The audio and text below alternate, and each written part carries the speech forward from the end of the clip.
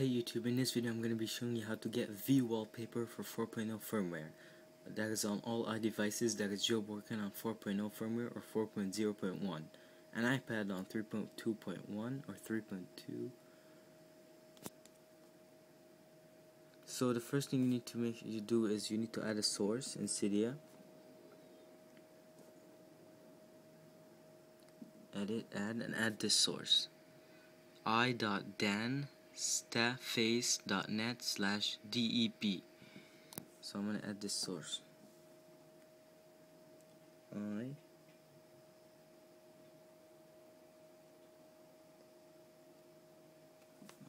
this source by going like this. I dot Dan dot Dan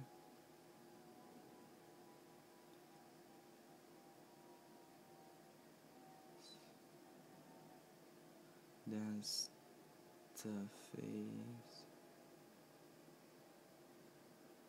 dot net.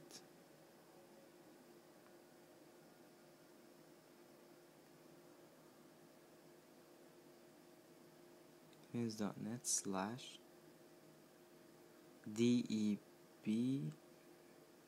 and then click add source. Verifying URL it'll tell the source iPhone iPod Touch back here. Reloading data. So the source is i.danstaface.net slash deb. I'll put it in the video description for you guys. After it adds the source, you pretty much just go to Cydia search and search for vWallpaper. And it'll say for 4.0 and the bottom one would be for 3.x. Okay, wait for it to reload data. Okay, to return to Cydia and go to search and search for vWallpaper. V wall. So as you can see here, vWallpaper. iOS, it says here iOS 4 only, OS 3.0 to 3.1.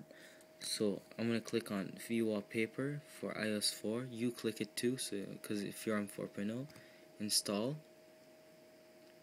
confirm and it's free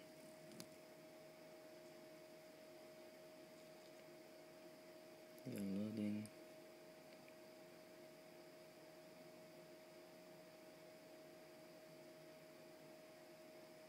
vWallpaper is really amazing for um, if you want to put any video in the background instead of a picture.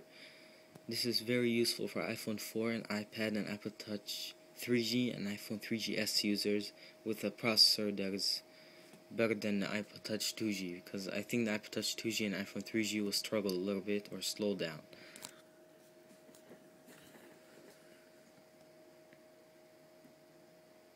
Okay, so reloading data.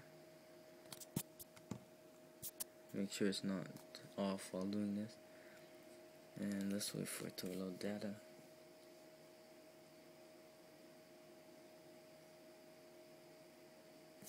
Restart springboard.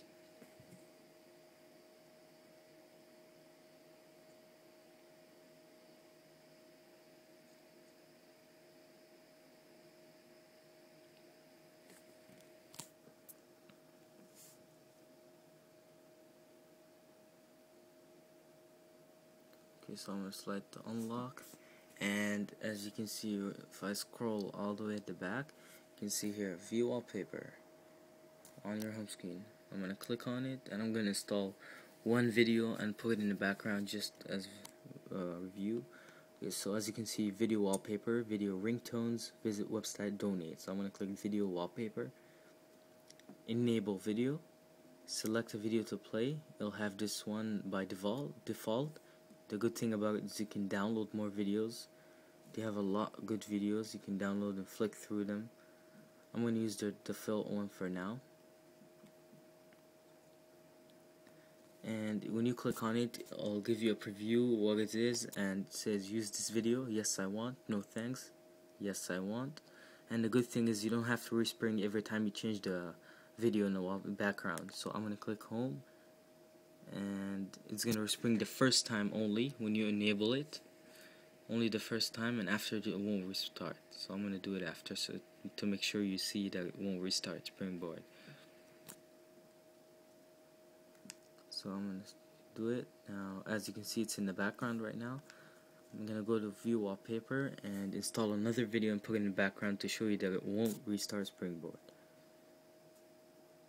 Okay so download more videos. And I'm gonna download